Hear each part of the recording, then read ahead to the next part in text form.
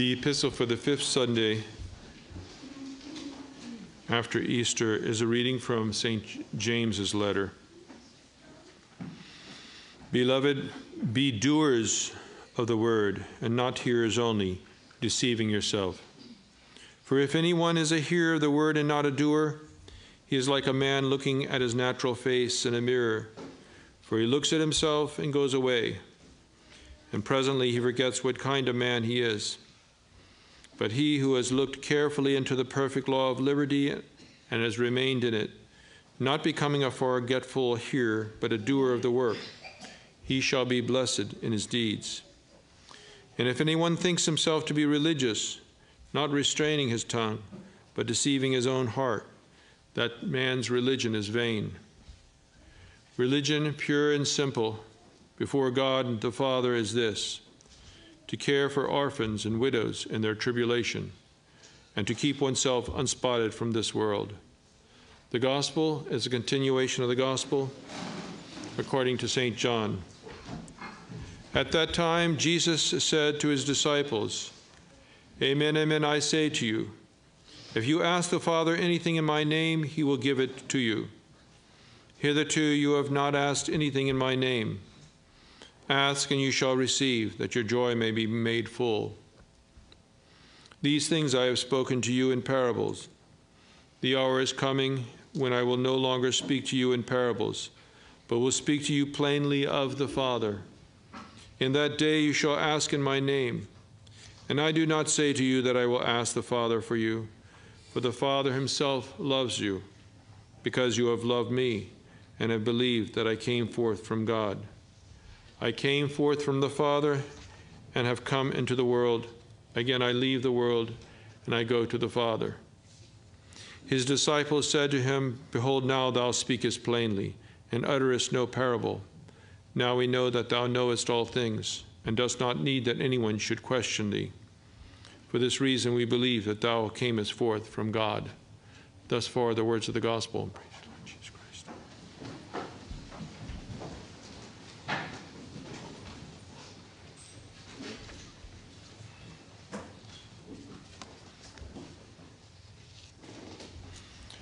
Wish to all the mothers and grandmothers a very blessed Mother's Day. After Mass today, we'll have the blessings of the mothers and the distribution of a, a rose to all of our, our mothers and grandmothers. There'll be no Mass here until Thursday, which is a holy day of obligation, Ascension Thursday. The two Masses will be at noontime and at 6.15 p.m in the evening. Confessions will be before both of those Masses. This Mass will be offered by Reverend Father Pardue, Giles Pardue. So it'll be his first Mass um, here in Lafayette, as I will be leaving today, hopefully on time, uh, for Brazil for the ordination of uh, soon to be Father Bonaventure which is next Saturday. So I ask your prayers for safe travels, both for him and for myself. Um, and uh, I would like to thank you for your prayers for Reverend Father uh, Pardue. The ordination was beautiful. And unfortunately, the, the miking wasn't as good as it might have been. Uh, the music was spectacular, just spectacular. And the ceremonies um, very well, very well done. Um, so I'm sure you'll be looking forward to seeing him. And I would remind you that we'll have a solemn high mass for him um, with myself and uh, Father Bonaventure on the last, on Pentecost Sunday, the last Sunday of the month of May. Um, there'll also be a reception, so if you are interested, um, I don't think we still don't have a list out there for people to sign up. Um, but we're looking forward to a good turnout for that reception. Um, and then uh, the Mass, I would ask you to look at the calendar in the bulletin to see the Mass schedule for Friday and Saturday, which are ordinary, noon Mass, and then um, Saturday morning, 8 a.m. Mass, as usual. Um, I'll endeavor to post out the novena to the Holy Ghost as we're preparing for that. That begins with Friday, May the 19th. So um, you might be able to pray the novena to the Holy Ghost uh, in preparation for Pentecost. And if you have anything to be blessed or you already placed things to be blessed, everything in the room that was there has been blessed. Anything new will be blessed at the end of this Mass. Special feast this week, Wednesday the 17th, St. Paschal Baylon, Franciscan, yay, uh, patron of Eucharistic Congresses. And the 20th, uh, St. Bernardine of Siena, again, Franciscan, patron of the veneration of the holy name of Jesus. And uh, boy, I'm just thinking to myself with a, saying Franciscan so often, you may end up like my dear stepmom, Jane Ann. Uh, she thought that all saints were Jesuits because she grew up in, in Grand Coteau. all the saints are Jesuits.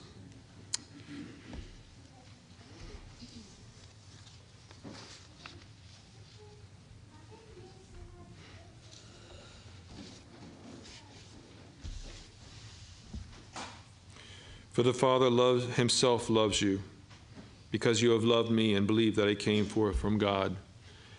In the name of the Father, and of the Son, and of the Holy Ghost, amen.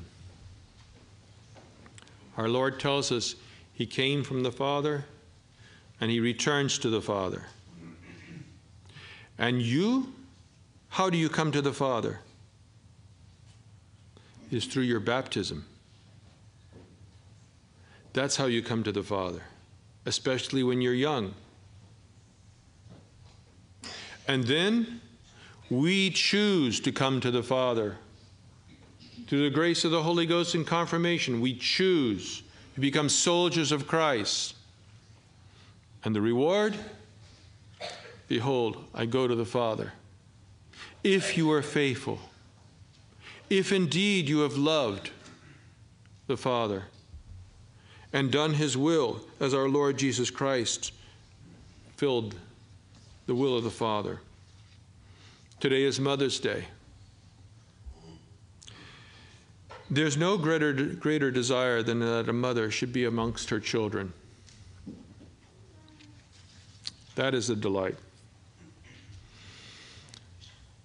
We hear the story it was told in the Brook, Brooklyn Tablet, not that you'd pick up the Brooklyn Tablet and read it, I'm sure. But there was an experienced father who was an auditor, uh, a form of accounting. And he had a very keen ear and memory, and accustomed to keeping numbers. This father was required to look after his own family for a day. And being an auditor, he said, Well, I'm going to find out what my wife's doing all day. And so he decided to keep a running record of what took place in the day. Here are some of the totals. Open the door for children 106 times. Close the door for children 106 times. Tie their shoes 16 times. Rescue a creeping baby 21 times. Told the two year old George, don't 94 times. Stopped quarrels 16 times. Spread jelly uh, on uh, butter and jelly on bread 11 times, distributed cookies 28 times, served a glass of water 15 times, answered the telephone. Now, this number is way off because there were not many phones back in the 40s. Seven times. Wiped noses 19 times. Answered questions 145 times stumped by questions 175 times, lost temper 47 times, ran after children about four and a half miles. Boy, what a confession that would make for the confessional. Lost temper. The exhausted head of the house had to admit that he might have been too busy to record every time he did something in that household for the children. Many incidentals, like picking up toys, taking the scissors away from a baby, which he did in stride without having to a second of leisure in order to record such events. The list also failed to include countless other activities for the average mother, such as washing, ironing, patching, cooking, shopping. The list goes on and on, including watching for many hours, numerous interruptions of sleep, phone calls, other works, preparing bottles, seeing to the feeding and changing of essential clothing of children. Nor did he record the hours of anxiety when the little one was sick or upset, or when the mother was wondering what's going on at school, what's going on amongst the playing children. Neither could he list the weary worries of a mother during the teen years of her children. If you want to get some idea of your, what your mother did for you? Watch a mother with little children, perhaps even at church. Don't turn around. On the street, in a public place, on an airplane, for instance. What complete, unselfish, taxing service they make. Try it. Just try it. Try to hold a 20 pound squirming child with ribbons and hats and all, every once in a while grabbing at your hair. Try to keep him from putting a, uh, a rosary away or breaking this or that or shoving some envelope or nickel or coin into their eager mouths. Everything goes there. Try to keep him covered and yet not too warm. Try to show him off to others without his tumbling off this way or that way into a pew or over the back seat of a car or some other awkward position. Try to keep him from, from speaking when a priest is giving a sermon. what, luck, what luck do you have? Once you were a baby like that, a mother held you in her arms and fed you, washed you, changed you at least a dozen times in a day. That is your mother. Whether she bore you or not, that is your mother who put up with all of that for love of you. That is what every mother is. No human auditor or accountant can ever do justice to the arithmetic of motherhood. So to take a record, it would take a recording angel to add up all that a mother does for her children. And so too, no record uh, or earthly reward can ever be given for, for a mother for the hours and the years and the toils and the tears and the heartaches and heartbreaks a child will cost a mother. Such records are only kept in heaven. Rewards for this work are only given in heaven to those who do it for the love of God. Do it for the love of God. To sanctify yourself, mothers, and sanctify your children. Nevertheless, we make a fervent and a feeble attempt once a year to show our appreciation to those who brought us into this world, what they have done for us. We set aside a day in this May to honor them, to thank them, to do a little problem of arithmetic of motherhood by adding up all their sacrifices, their labors, and their pains for us, making a small recompense. Most appropriately, we honor mothers in this month dedicated to the mother of, all, of us all. Who could ever compute the arithmetic of her motherhood, of her loving, of her suffering on our behalf, her prayers and her aspirations, her constant seeking after us, all the visions that have come, all the messages she has given in order to draw us to keep our face towards our Father in heaven, that we should do penance to crush our self love and our attachment to this world. All the desire that she has had and all the penances she did in her world in order that we might have that example and follow after her, her discomforts, her fears, her labors, and her sorrows. And let us bear in mind that her preternatural gifts made all of those far more acute than anything that we can contemplate in ourselves. She was the mother of God, the Almighty. She, gave, she was given every possible grace and beauty because of that mission. We honor her on Mother's Day, along with all our earthly mothers who are first to tell us about our Heavenly Mother. To show our appreciation of this arithmetic of motherhood, we need to add more tokens of praise, more expressions of thanks, more proofs of our love of Mary and of all mothers. We need to multiply our words of gratitude, our gifts this day and all other days, our smiles of love, our being with her.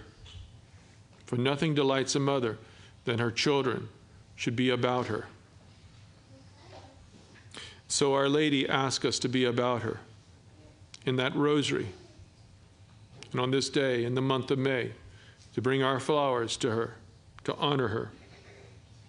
Mother knows how precious that is. It means that a child is thinking about them. That's very precious in their hearts. We need to divide some of the attention we give to less important persons, less meaningful things, and give some of that devotion to those people who mean the most to us, those who deserve it the most, our mothers. We need to subtract a great deal of the forgetfulness, of the lack of appreciation, of downright ingratitude on our part that we have shown them. Our Heavenly Mother and our earthly mother have done a limitless list of things for us, of services for us. If you heard Father Giles's sermon, you could see how much he understands what he owes to his own mother. Well, I think that's true of every priest, and especially true of a priest with regard to the Blessed Mother, who is the mother of every vocation to the priesthood. Our Heavenly Mother and our earthly mothers have done so much for us. We can every day add to the list of things that we can do for them. May God reward, as only God can, every service done by our Mother in heaven and our earthly mother here below. A blessed Mother's Day to you all, and a blessed Mother's Day to our Heavenly Mother. In the name of the Father, and of the Son, of the Holy Ghost, amen.